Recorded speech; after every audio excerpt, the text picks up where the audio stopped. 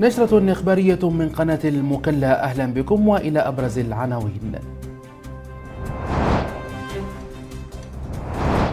المبعوث الأممي يناقش في عمان سبل إحراز تقدم في خارطة الطريق الأممية لليمن وخفض التصعيد في المنطقة.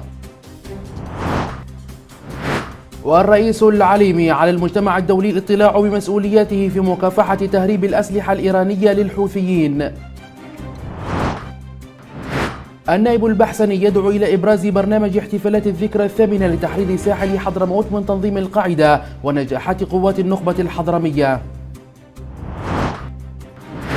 ولقاء موسع في المكلا يناقش أوضاع الأطباء والعاملين الصحيين بحضرموت.